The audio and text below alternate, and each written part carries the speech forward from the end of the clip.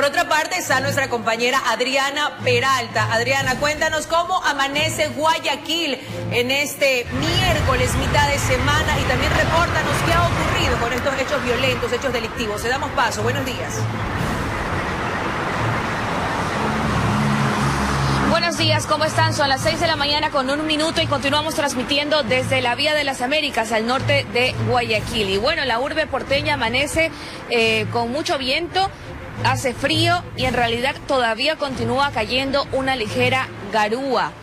De igual forma, pues eh, las personas igual están dirigiéndose hacia distintos sectores y aquí esta es una de las arterias principales de Guayaquil, donde se encuentran algunas instituciones educativas, entre otras dependencias. Aunque debo decir, no han pasado muchos, no han pasado muchas personas a esta hora que regularmente ya vemos un mayor movimiento, 6 de la mañana con dos minutos. De igual manera, sepan ustedes que tienen que salir algo abrigados. Realmente yo bueno, por fortuna me puse esta blusa, pero hace frío. Hace frío, amables televidentes, y sí, continúa cayendo esta llovizna. Por otra parte, pues la gente realmente se encuentra ya cansada del accionar de los delincuentes. Y hubo otro caso de linchamiento prácticamente que se registró ya en el centro de Guayaquil. ¿Qué pasó allí? Pues los moradores detectaron, y también algunos trabajadores de ese sitio, que un sujeto se hacía pasar como taxista, taxista formal engañando a las personas, a los usuarios, para proceder a quitarles todas sus pertenencias y entre otras modalidades. Conozcamos más detalles de este caso en el siguiente reportaje, así que presten mucha atención y también a las recomendaciones que brinda el gremio de los taxistas formales. Adelante. Le amarraron las manos y le dieron la paliza de su vida, en plena esquina de las calles Salcedo y Lizardo García, centro de Guayaquil. El populacho lo capturó y lo acusaba de hacerse pasar como taxista y que supuestamente intentó secuestrar a una pareja.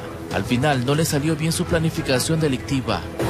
La ley no existe, o sea existe pero no la hacen ver las autoridades. Mano propia, no queda otra. Está peligroso esto, en donde quiera es eso, que se roban así lo asaltan a uno. No es el primer caso en los últimos días en que han caído personas en este tipo de unidades dedicadas a delinquir.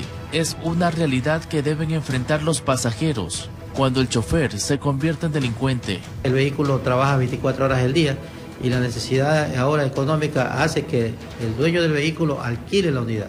Se lo alquila a personas a personas honorables, pero lamentablemente estas personas también se casan y, ellos los arriendan.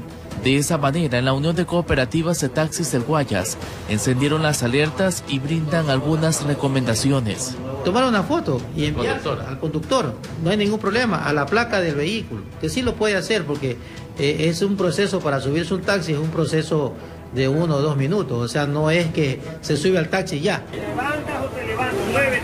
Por ahora la Policía Nacional no se ha pronunciado sobre este caso para conocer si este sujeto quedó o no detenido después de lo que se difundió en redes sociales, informó Charlie Pisa.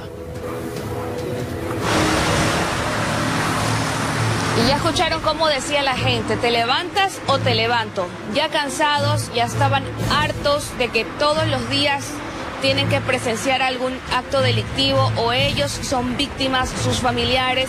Ya sabemos que el nivel de delincuencia es alto aquí en la ciudad de Guayaquil y en distintas modalidades. En esta ocasión, pues un sujeto que se hacía pasar como taxista había alquilado esta unidad y también a las personas que alquilan. Eh, tener muchísima precaución para evitar inclusive que ellos se vean inmersos en algún tipo de estructura delictiva. Ahora, ¿qué pasa? Entiendo que la Policía Nacional a raíz de estos videos debe estar realizando las investigaciones pertinentes, aunque todavía no se han pronunciado. Sin embargo, la recomendación a la ciudadanía de siempre tomar las medidas necesarias al momento de solicitar alguna unidad, algún taxi de preferencia, personas que ustedes conozcan o algún familiar que les pueda hacer la carrera. Siempre tenemos que estar un paso adelante, sobre todo si ya conocemos el contexto muy peligroso que estamos atravesando.